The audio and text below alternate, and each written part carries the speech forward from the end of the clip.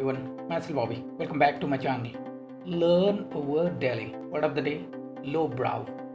Low brow, meaning having no connection with or interest in serious artistic or cultural ideas.